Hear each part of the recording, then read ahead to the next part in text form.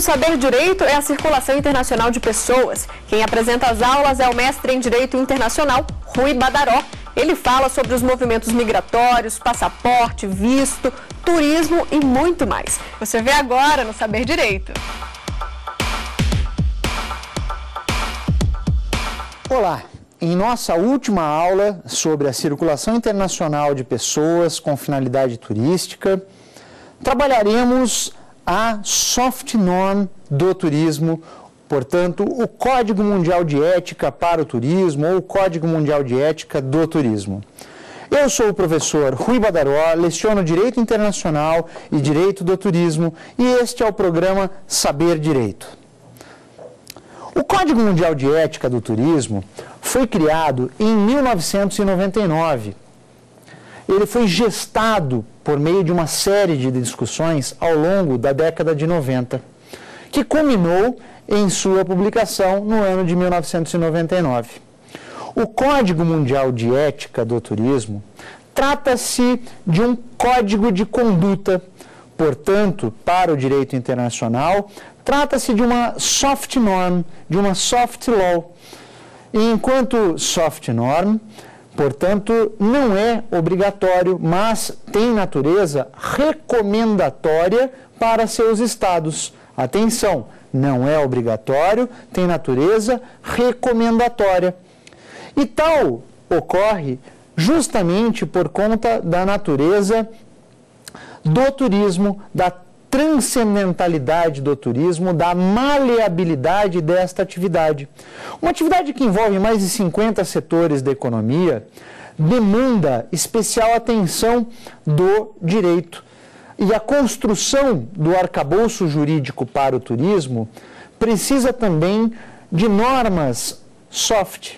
Soft no melhor estilo de todos os estudos desenvolvidos pelo professor Prosper Veil nessa perspectiva é que o Código de Conduta Turístico estipula, encerra uma série de princípios que visam o desenvolvimento sustentado da atividade.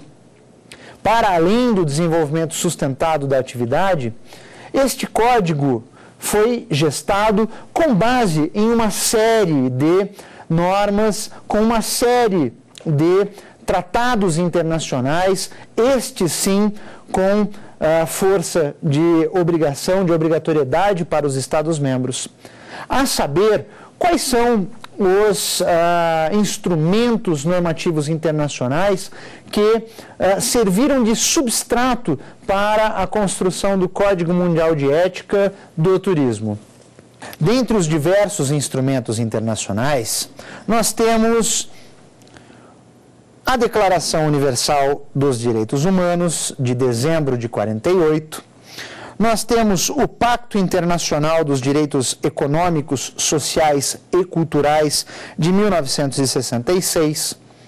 O já famoso nestas aulas sobre circulação internacional de pessoas, Pacto Internacional de Direitos Civis e Políticos de 1966 a Convenção de Varsóvia sobre Transporte Aéreo de 1929, a Convenção Internacional da Aviação Civil de Chicago de 44, as convenções de Tóquio, Haia e Montreal relacionadas a ela, a Convenção sobre Facilidades Alfandegárias para o Turismo de 1954 e seu protocolo, a Convenção sobre a Proteção do Patrimônio Cultural e Natural Mundial de 1972, a conhecida Convenção de Estocolmo, que criou o patrimônio histórico da humanidade.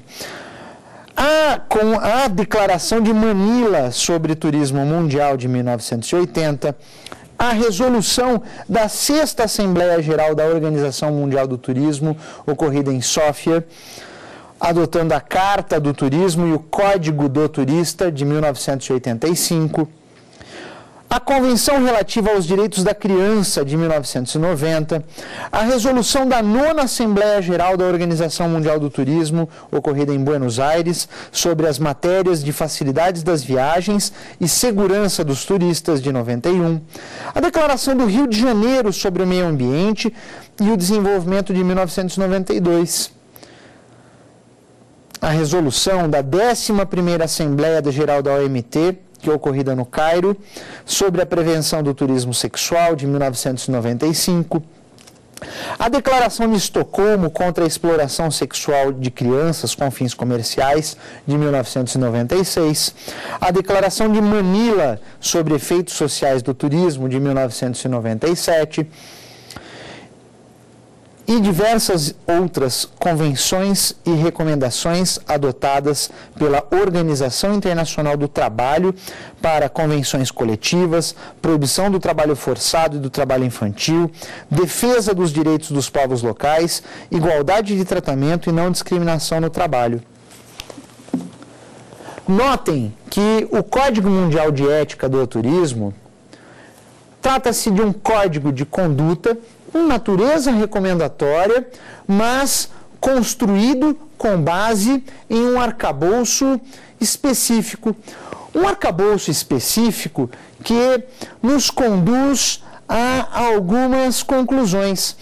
Arcabouço estritamente, em sua maioria, pode-se afirmar, formado por tratados obrigatórios para seus membros, formado por todas as discussões da Organização Mundial do Turismo ao longo da década, das décadas de 80 e 90 do século passado.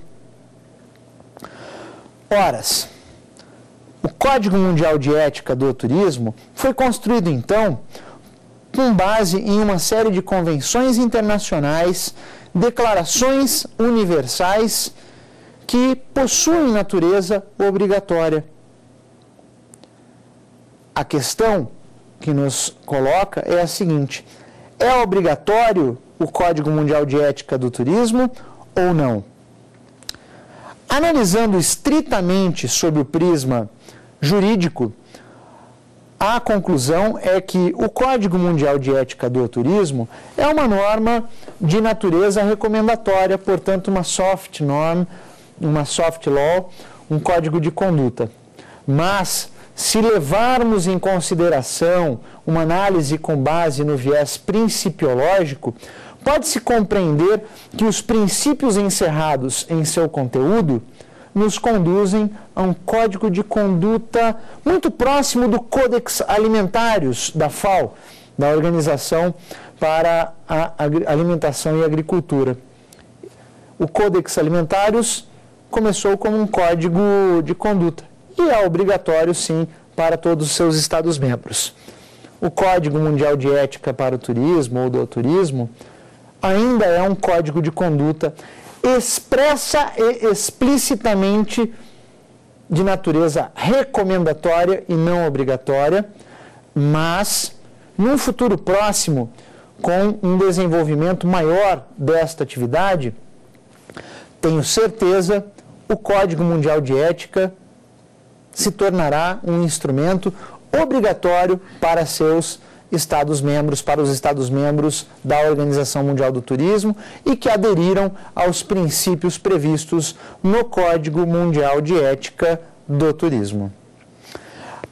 A questão que devemos responder agora é a seguinte: quais são os princípios do Código de Ética Turístico? Quais são os princípios deste Código Mundial do Turismo. O primeiro princípio do Código Mundial de Ética do Turismo é justamente o chamado contribuição do turismo para a compreensão e o respeito mútuo entre homens e sociedades. Compreendemos que a compreensão, a promoção dos valores éticos, a alteridade e a tolerância são ao mesmo tempo fundamento e consequência de um turismo responsável. Os agentes de desenvolvimento do próprio turismo, bem como os próprios turistas, devem respeitar as tradições e práticas sociais culturais de todos os povos, inclusive das minorias e populações locais é imprescindível o respeito à população autóctone, à população local. De nada adianta viajar para um destino turístico se não há interesse por parte do turista de entrar em contato com a cultura da população local, com a cultura do povo.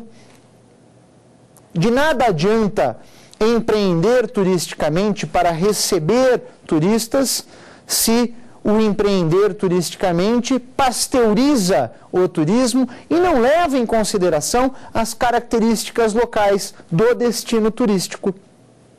Portanto, o primeiro princípio do Código Mundial de Ética do Turismo chama atenção justamente para isso. Já o segundo princípio estabelece o turismo enquanto instrumento de desenvolvimento individual e coletivo, mostrando a relevância desta atividade como motor de crescimento da sociedade em seus mais variados aspectos associado ao repouso, à diversão, ao desporto, ao acesso à cultura, à natureza, o turismo deve ser concebido e praticado como meio privilegiado de trocas individuais e coletivas.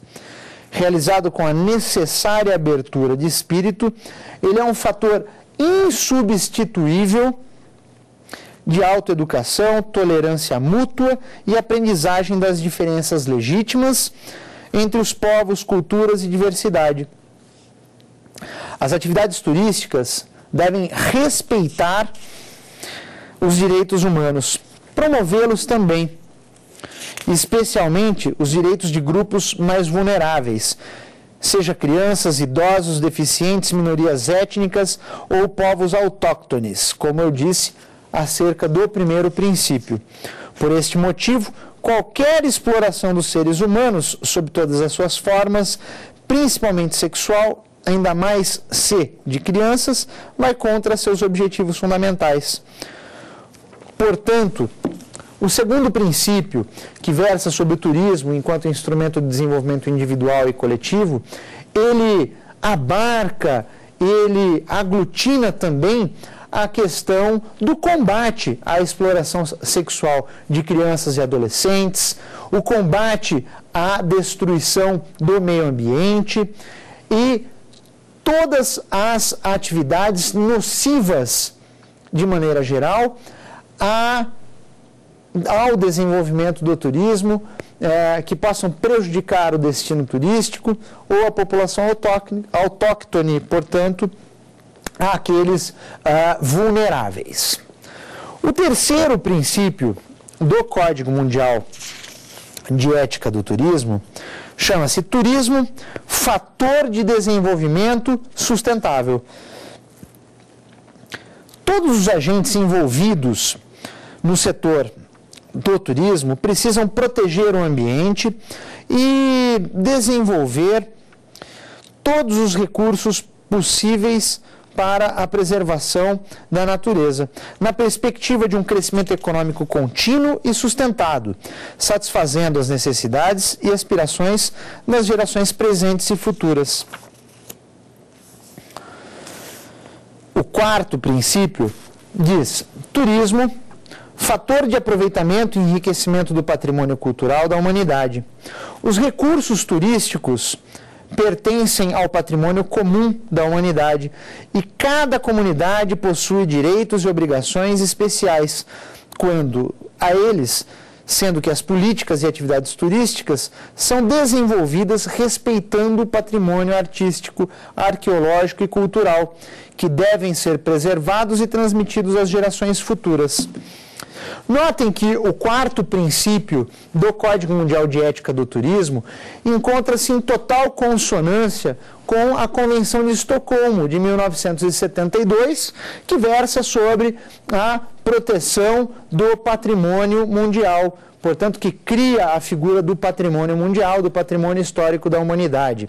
E a preservação é essencial para o turismo, visto que, se não houver o que visitar, se não houver com o que o turista realizar trocas culturais, não há que se falar em turismo. Ele não vai é, deslocar-se para conhecer um lugar que não existe mais.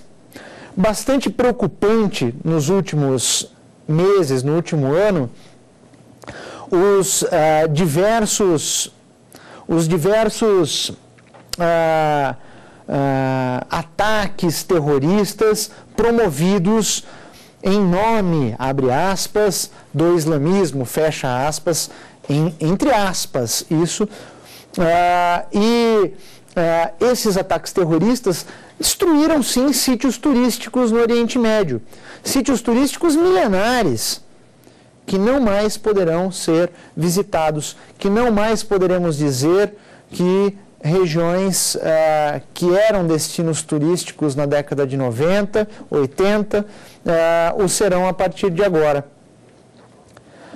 Eu aproveito este ensejo, neste momento, e chamo agora a primeira pergunta da nossa última aula. Código Mundial de Ética do Turismo é obrigatório para todos os países? Como eu dizia ao longo desta aula, o Código Mundial de Ética do Turismo não possui natureza obrigatória. E não possui natureza obrigatória justamente por se tratar de um código de conduta. E um código de conduta para o direito internacional é uma soft norm, uma soft law. E por ser uma soft law, sua natureza é recomendatória. Por óbvio que a importância política de uma atividade é que denotará, evidenciará a importância dos estados em observarem ou não um código de conduta. E no caso do turismo, dada a importância econômica desta atividade, torna-se cada vez mais claro afirmar que o Código Mundial de Ética para o Turismo ou do Turismo se tornará um código de conduta cujos princípios serão obrigatórios para os Estados-membros. Obrigatórios por força política neste momento e, quiçá, num futuro próximo, por força realmente obrigatória com jus cogens. Tendo respondido esta primeira pergunta, daremos continuidade à análise dos princípios que regem o Código Mundial de Ética do Turismo. Portanto, o quinto princípio é aquele que reza o turismo como atividade benéfica para os países e para as comunidades de destino. As populações e comunidades locais devem estar associadas às atividades turísticas e participar equitativamente nos benefícios econômicos, sociais e culturais que geram e, sobretudo, na, criança, na criação de empregos diretos ou indiretos resultantes.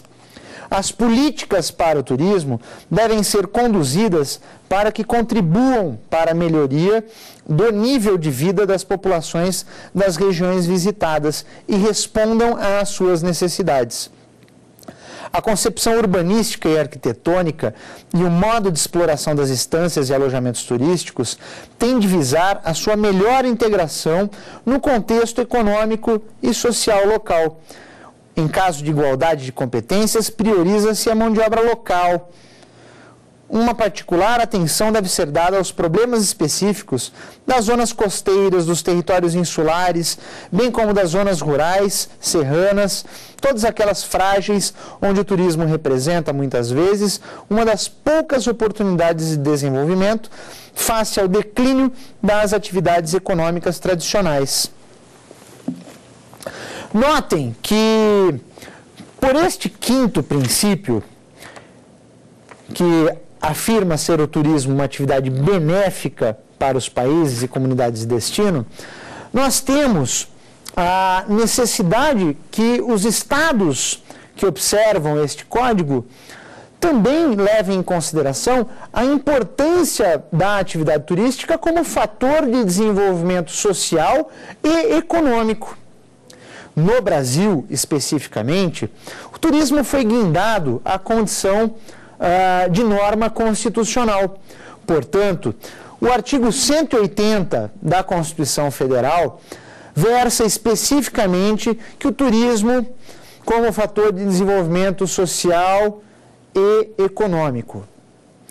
Nessa linha, nessa toada do artigo 180, tem-se que o desenvolvimento da atividade turística deve ser observando as peculiaridades e particularidades de cada um dos destinos. Um exemplo claro disso é a cidade de Gramado, no Rio Grande do Sul. A cidade de Gramado possui um planejamento turístico de início ao fim, que envolve tanto a administração pública quanto a iniciativa privada. E é esta uh, harmonização dos entes públicos e privados em prol do desenvolvimento, do planejamento da atividade, fazem com que a cidade seja uma cidade completamente de vocação turística. Não se trata apenas de um único bairro bonito, com características alemãs, mas de toda a cidade, de quilômetros antes da cidade, você ter uma preparação visual para receber o turista aqueles que empreendem turisticamente na cidade, aqueles que desenvolvem o turismo, recebem o turista conhecendo todas as características da cidade, bem como a sua influência e os, teus, os seus objetivos. A cidade de Gramado está de parabéns com relação ao desenvolvimento do turismo no nosso país. Voltando ao quinto princípio, observo ainda que os profissionais de turismo, em especial os investidores, devem, conforme uma regulamentação estabelecida por autoridades públicas, realizar estudos sobre o impacto dos seus projetos de desenvolvimento em relação ao entorno e aos meios naturais existentes, como também devem prestar atenção ao entorno especificamente bem como das informações transparentes, trazendo informações transparentes e objetivas quanto aos futuros programas e impactos previstos, abrindo-se ao diálogo nessas maneiras com as populações interessadas. Volto novamente ao exemplo da cidade de Gramado. Qualquer empreendimento turístico, qualquer construção turística, leva em consideração, deve levar em consideração toda uma série de características turísticas Portanto, o diálogo entre o investidor, a iniciativa privada e a, os agentes públicos, a administração pública, é imprescindível para o desenvolvimento dessa atividade. No mesmo sentido, a cidade brasileira de Florianópolis também encontra-se de parabéns nos dias atuais, procurando adequar-se, observar ao máximo a regulamentação do turismo e o amálgama entre a iniciativa privada e a administração pública. O sexto princípio do Código Mundial de Ética do Turismo traz o seguinte: ob obrigações dos agentes de desenvolvimento turístico. É um comando Obrigações dos agentes de desenvolvimento turístico. Quais são essas obrigações? Fornecer aos turistas informação objetiva e sincera sobre os destinos, as condições de viagem, recepção e estadia assegurar a transparência das cláusulas dos contratos propostos aos seus clientes, no que se refere à sua natureza, preço, qualidade dos serviços a serem fornecidos, assim como as contrapartidas financeiras em caso de ruptura do contrato, quando couber e lhes for solicitado, oferecer, em cooperação com as autoridades públicas, assistência, segurança, prevenção de acidentes, proteção sanitária, higiene, zelar pela, pelo sistema de seguro e da assistência apropriada, aceitar prestar contas segundo as modalidades previstas na legislação nacional e, se houver necessidade, pagar indenização justa quando não cumprir as suas obrigações contratuais. Notem que o sexto princípio é um princípio de direito privado, claramente, onde explicita a responsabilidade civil dos prestadores de serviços turísticos, dos agentes que desenvolvem o turismo. E é nessa toada que é imprescindível para aquele que empreende turisticamente compreender o arcabouço jurídico que rege a sua atividade. tanto sob o prisma da atividade pública, portanto, da fiscalização que o Estado empreende, ainda que indireta, por meio do cadastramento junto ao Ministério do Turismo, no caso do Brasil, bem como no que tange a relação privada do hotel, da agência de viagem uh, e dos outros uh, uh, agentes que desenvolvem o turismo com o turista.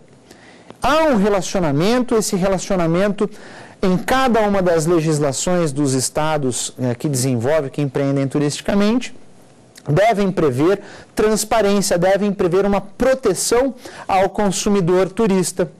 E essa proteção ao consumidor turista não é uma proteção qualquer. Notem que desde a década de 80, a Organização Mundial do Turismo já preconizava um código do turista, um código de proteção ao consumidor turista, que, como disse anteriormente ao longo destas aulas, é um consumidor vulnerável. O turista é vulnerável por natureza, porque ao emigrar temporariamente para outro estado, ele desconhece as regras do jogo desse estado para onde ele é, é, se direciona, vai visitar. É imprescindível, portanto, o máximo de transparência.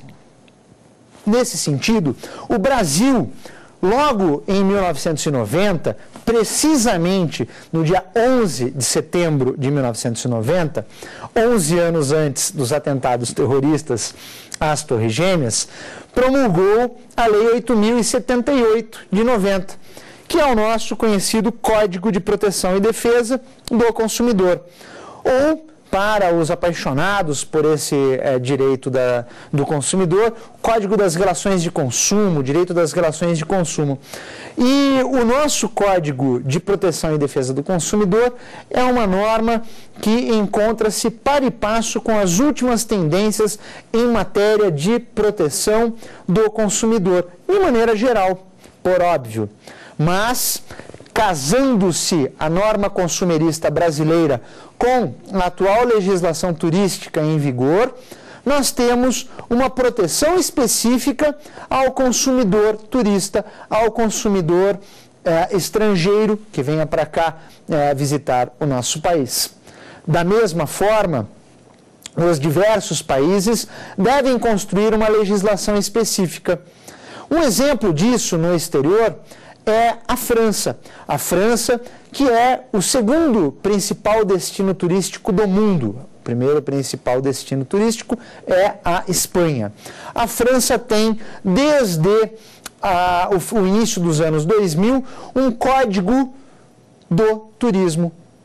Uma quantidade de legislação específica que versa especificamente sobre o turismo. E o Código do Turismo prevê, num capítulo inteiro, a proteção ao consumidor turista. Dando continuidade dentro dos nossos princípios que regem o Código Mundial de Ética do Turismo, nós temos que o sétimo princípio, o sétimo princípio é aquele que trouxe é, uma previsão específica do direito ao turismo, brindando os direitos humanos e talvez querendo é, desvincular-se do direito ao lazer enquanto geração, gerações de direitos humanos, o Código Mundial de Ética para o Turismo fez uma previsão específica no princípio, no sétimo princípio, é, para um direito ao turismo, quiçá uma subespécie ou uma espécie do direito ao lazer previsto na Declaração Universal dos Direitos Humanos. Uh, a possibilidade de acesso direto e pessoal à descoberta das riquezas do nosso mundo é um direito aberto igualmente a todos os habitantes do planeta. A participação cada vez mais ampla no turismo nacional e internacional deve ser considerada uma das mais e melhores expressões do crescimento contínuo do tempo livre e não deve ser de maneira alguma dificultada. O direito ao turismo para todos deve ser visto como consequência do direito ao descanso, ao lazer, aos tempos livres e, em particular, a uma razoável limitação da duração do trabalho e licença periódicas pagas, garantidos no artigo 24 da Declaração Universal dos Direitos Humanos e no artigo 7.1 do Pacto Internacional dos Direitos Econômicos, Sociais e Culturais de 1966. O turismo social, em particular o associativo, que permite o acesso da maioria dos cidadãos ao lazer, viagens e férias, deverá ser desenvolvido com o apoio das autoridades públicas e o turismo das famílias, dos jovens estudantes, das pessoas idosas e dos deficientes encorajado precisa ser facilitado.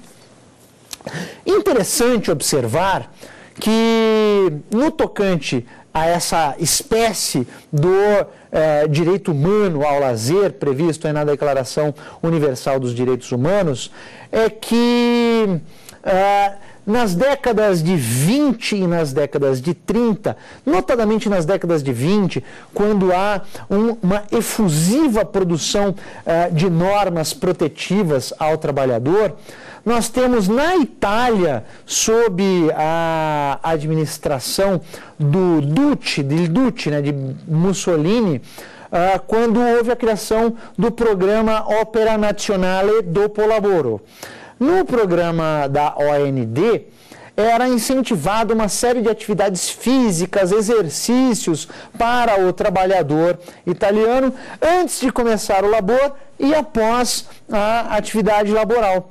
Um detalhe do programa da OND era que o trabalhador do norte deveria conhecer o sul. Então ele viajava de trem, viajava de barco, viajava a pé, a cavalo para conhecer o sul do país. E durante essas viagens ele ia mapeando o país, era obrigatório. Portanto, uh, os guias de turismo na Itália vêm aí da Opera Nazionale dopo Lavoro. Da mesma forma, os trabalhadores do Sul também deveriam conhecer o Norte e agir da mesma maneira. Já na década de 30, já na década de 30, nós temos também já na Alemanha, um, sob a administração do Führer, de Adolf Hitler, um programa chamado KDF, KDF, Kraft die Freude, né, Força para a Alegria, que preconizava que os trabalhadores alemães deviam realizar atividades também físicas uh, antes da atividade laboral. E o programa KDF também uh, influenciava os alemães no sentido de que eles deveriam uh, dar maior atenção aos destinos turísticos alemães, Baden-Baden, uh, Berlim, e, enfim, os destinos turísticos da Alemanha, ao invés de gastar o dinheiro em outros países, o que era bastante comum na década de 10, 20 e 30 uh, na Alemanha. E então, tanto os programas da Opera Nazionale Dopo Lavoro, bem como o programa KDF, Kraft die Freud, da Alemanha, eram programas que se adequavam especificamente a isso que eu acabei de explicar no, no que tange o direito ao turismo. Eram programas que foram criados num momento de efusiva proteção eh, ao trabalhador, de efusiva produção eh, normativa eh, relacionada ao trabalhador. Prova disso é que o programa OND foi incluído na Charta del Lavoro, foi incluído na Carta do Trabalho italiana e o programa KDF da mesma forma na legislação trabalhista alemã. Em contrapartida, o direito ao turismo, percebam que ah, deve existir um incentivo bastante forte aos vulneráveis, aos idosos, aos, ah, às crianças, programas específicos dentro do planejamento da atividade, planejamento estatal da atividade, que ah, desenvolvam o turismo para essas, esses segmentos. Vamos aproveitar agora e chamar a segunda pergunta de nossa última aula. Qual o objetivo do Código Mundial objetivo desse código de conduta é estipular uma série de princípios que, é, unidos, conjugados, sirvam de norte, de diretriz para que os Estados-membros da Organização Mundial do Turismo possam, respeitando-o, desenvolver o turismo de forma sadia, tanto no âmbito interno quanto no seio da sociedade internacional. Eis o principal objetivo do Código Mundial de Ética para o turismo, lembrando que ainda é um código de conduta, uma soft law, de natureza, portanto, recomendatória, não obrigatória, baseado sim em uma série de instrumentos normativos obrigatórios, dentre eles eu gosto de frisar o Pacto Internacional de Direitos Civis e Políticos de 1966, visto que é a principal norma na atualidade que versa sobre a liberdade de circulação de pessoas de maneira geral. Respondida esta segunda pergunta, daremos continuidade ao analisar os princípios que regem o Código Mundial de Ética do turismo.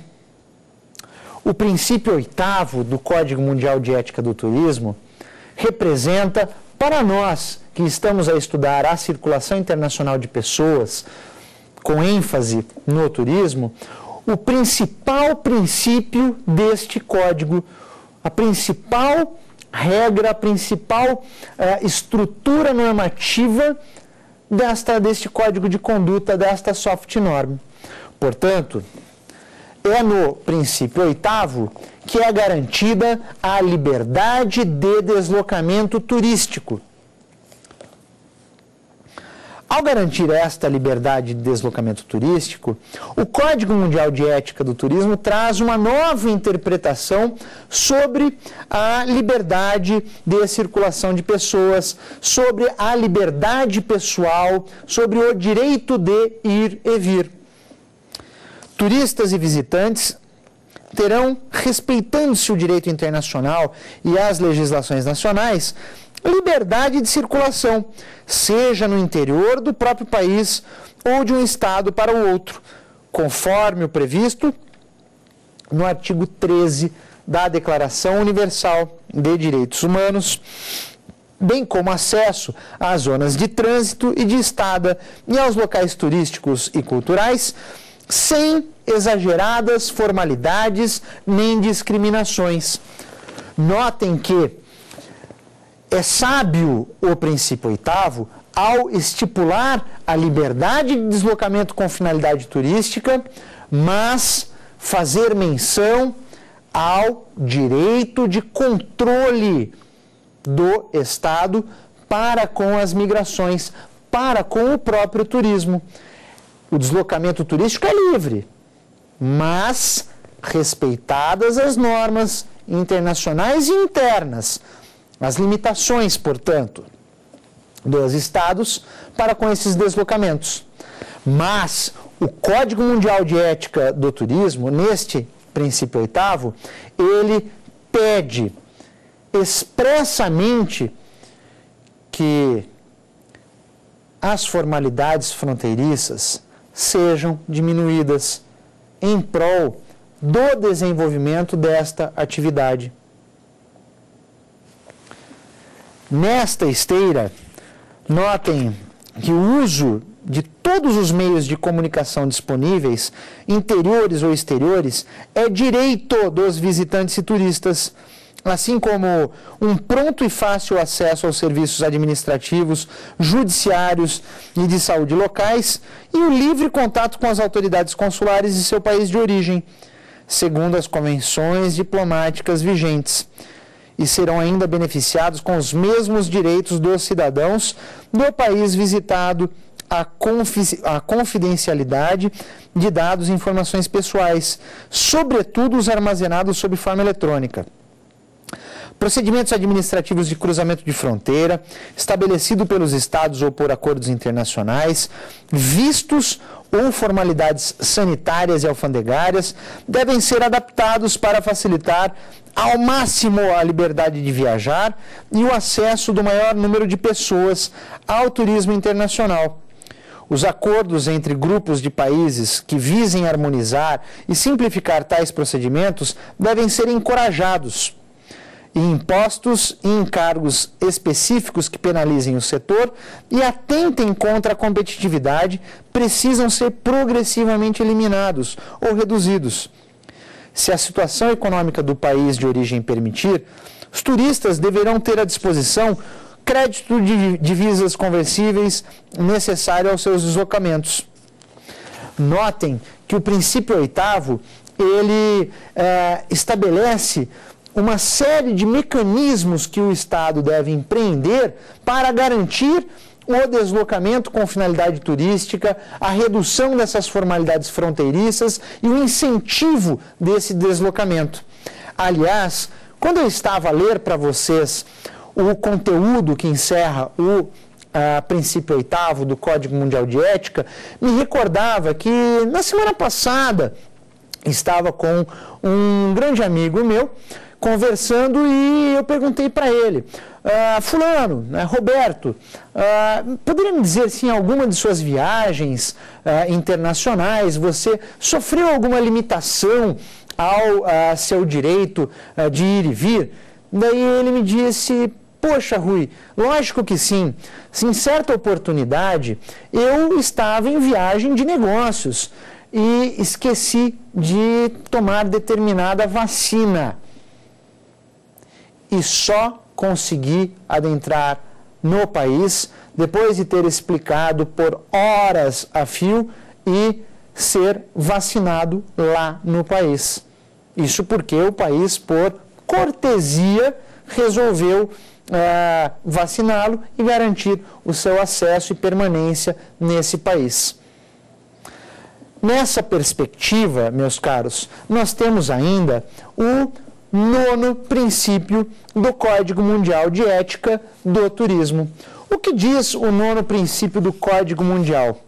O nono princípio estabelece o direito dos trabalhadores, dos empresários e da indústria turística Notem que se trata de uma conjugação entre a liberdade de circulação de pessoas com finalidade de trabalho, ainda que seja no setor turístico, a conjugação da, uh, do direito dos empresários em empreender turisticamente. Portanto, nós estamos aqui a falar sobre um direito constitucional econômico, a liberdade de agir economicamente com finalidade turística e também a liberdade da indústria turística. Se não, vejamos. Outra preocupação indica que os direitos fundamentais dos trabalhadores assalariados e autônomos do turismo e atividades afins devem ser assegurados pelas administrações, seja dos estados de origem, seja dos países de destino, tendo em vista as limitações específicas vinculadas à sazonalidade de suas atividades, a dimensão global de sua indústria e a flexibilidade, muitas vezes, imposta pela natureza do trabalho. Tem o direito e o dever de adquirir uma formação ajustada, inicial e contínua, a uma proteção social adequada e a precariedade de seus empregos deve ser evitada. Aos trabalhadores sazonais deveria ser proposto um estatuto especial para sua própria proteção social. Antes de dar continuidade, é imprescindível enaltecer este princípio nono do Código Mundial de Ética do Turismo. O enaltecimento se deve justamente ao fato de que a atividade turística, por ser uma atividade maleável, com características bastante específicas e de uma flexibilidade bastante grande, impõe a seus trabalhadores, por vezes, situações e horários de trabalho distintos das outras atividades. Portanto, que há um estatuto especial, específico para o trabalhador vinculado à atividade turística, permitiria uma melhor harmonização das relações laborais entre o trabalhador do turismo, a empresa que empreende turisticamente e, enfim, toda a atividade turística. Antes de continuarmos, vamos chamar a terceira e última pergunta de nossa aula. Como os países aplicam o Código Mundial de Ética no turismo? Muito boa a terceira e última pergunta, pois ela se casa exatamente com o décimo princípio, que é o décimo princípio que veremos neste momento. Portanto, a saber,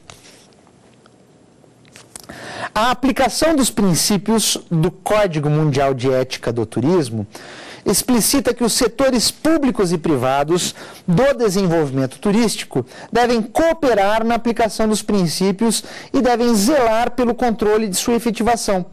Os agentes de desenvolvimento turístico reconheceram o papel dos organismos internacionais, entre os quais a Organização Mundial do Turismo e as organizações não governamentais competentes em matéria de promoção e desenvolvimento do turismo, proteção dos direitos humanos, do meio ambiente e da saúde, respeitando os princípios gerais do direito internacional e manifestaram a intenção de submeter, para efeitos de conciliação, os litígios relativos à aplicação ou interpretação do Código Mundial de Ética do Turismo a um terceiro organismo imparcial denominado Comitê Mundial de Ética do Turismo. Notem que ah, a aplicação do Código Mundial de Ética do Turismo é uma conjugação de esforços, representa uma conjugação de esforços entre a administração pública, entre os estados, entre as entidades eh, internacionais não governamentais, as organizações internacionais não governamentais, as organizações internacionais, bem como os atores que desenvolve, desenvolvem a atividade turística. A sua aplicação é, advém dessa conjugação de esforços respeitados, como muito é, ficou claro da leitura, é, os princípios do direito internacional. E observem ainda que o décimo princípio cria um tribunal arbitral para solucionar contendas relacionadas ao turismo, que é o Comitê de Ética do Turismo, o Comitê Mundial de Ética do Turismo. Assim, é, eis a resposta para a terceira pergunta. Encontra-se vinculada especificamente ao décimo princípio. Ao longo desta semana, trabalhamos a circulação internacional de pessoas sob o viés do turismo. Iniciamos nossos trabalhos com os movimentos migratórios. E ao trabalhar os movimentos migratórios, compreendemos o conceito de migração, compreendemos a importância da migração internacional para o desenvolvimento da própria humanidade, bem como desaguamos na liberdade de circulação de pessoas. Liberdade de circulação de pessoas que foi exaustivamente trabalhada por meio de uma evolução histórica e também da leitura dos principais instrumentos normativos que versam sobre o direito de ir e vir, sobre a liberdade pessoal de ir e vir, do deslocamento de pessoas, portanto. Já na terceira aula, trabalhamos especificamente os documentos de viagem. Trabalhando com os documentos de viagem, falamos, falamos também sobre os vistos, sendo que o passaporte é aquele documento de viagem que identifica de forma não conclusiva o nacional de um Estado, observando que o passaporte pode ser conferido a estrangeiros, a apátridas ou aqueles que não sejam nacionais de um determinado Estado.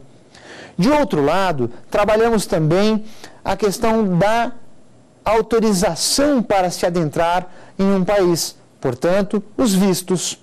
Falamos sobre suas espécies, sobre o visto permanente, o temporário, o visto oficial, o diplomático.